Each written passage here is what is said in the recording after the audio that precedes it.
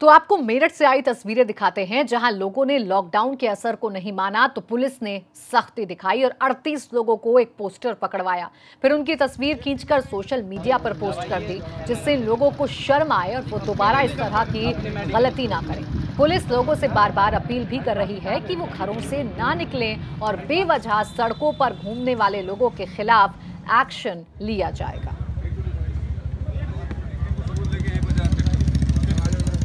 ही हूँ स्टोर तो आपको मेरठ से आई तस्वीरें दिखाते हैं, जहाँ लोगों ने लॉकडाउन के असर को नहीं माना तो पुलिस ने सख्ती दिखाई और 38 लोगों को एक पोस्टर पकड़वाया। फिर उनकी तस्वीर खींचकर सोशल मीडिया पर पोस्ट कर दी, जिससे लोगों को शर्म आए और वो दोबारा इस तरह की गलती ना करें। पुलिस लोगों से बार बार अपील भी कर रही है कि वो घरों से ना निकलें और बेवजह सड़कों पर घूमने वाले लोगों के खिलाफ एक्शन लिया जाएगा।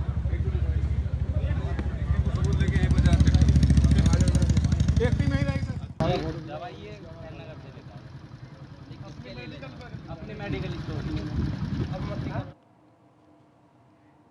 तो आपको मेरठ से आई तस्वीरें दिखाते हैं जहाँ लोगों ने लॉकडाउन के असर को नहीं माना तो पुलिस ने सख्ती दिखाई और 38 लोगों को एक पोस्टर पकड़वाया। फिर उनकी तस्वीर खींचकर सोशल मीडिया पर पोस्ट कर दी, जिससे लोगों को शर्म आए और वो दोबारा इस तरह की गलती ना करें।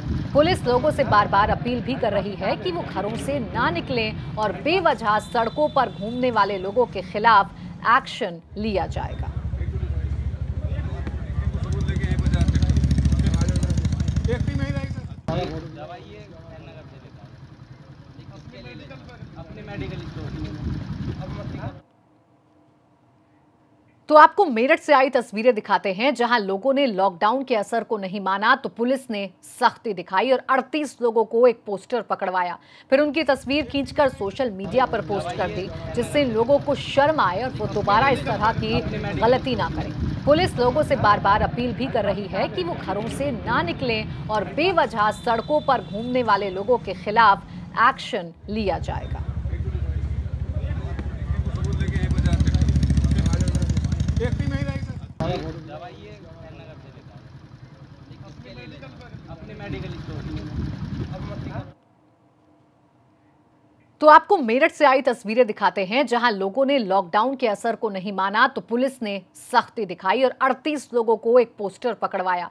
फिर उनकी तस्वीर खींचकर सोशल मीडिया पर पोस्ट कर दी, जिससे लोगों को शर्म आए और वो दोबारा इस तरह की गलती ना करें। पुलिस लोगों से बार बार अपील भी कर रही है कि वो घरों से ना निकलें और बेवजह सड़कों पर घूमने वाले लोगों के खिलाफ एक्शन लिया जाएगा सेफ्टी में ही रहेगी ये अपने मेडिकल स्टोर अब